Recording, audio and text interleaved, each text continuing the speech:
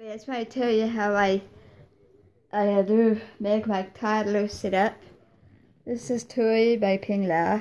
And I had one in here, but it didn't stay in. It just broke and bent out.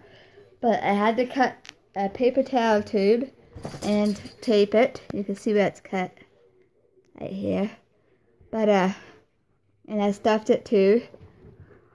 You pretty much just cut it down the side here and measure in here and then tape one side and put it up in the head. The head can't be full. I'll have to put some out, but not that much. I just had it way stuffed in there. And then see her body here. Get the tape out of the road and the rest of the toilet paper roll.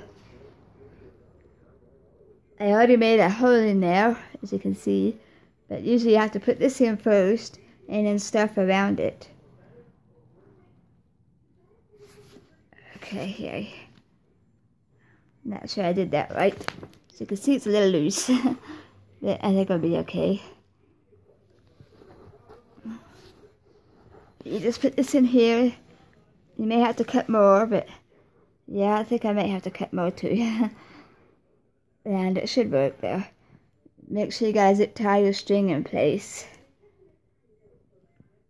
Try to get it, it's kind of hard, but you may need help. but since I'm alone here, I have to do it myself. okay. And pull a zip tie once you get it on the neck. Okay. It's not quite in there still, but it's hard. You have to work it. I want to be able to turn her head, so I don't want it too tight.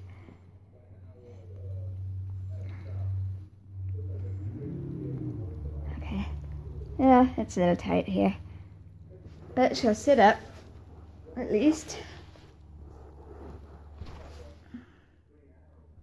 See, she sits up. and that's why I like from six months and up, I like them to sit up there. Sometimes you have to balance them really well. There we go, she's sitting up. Thanks for watching.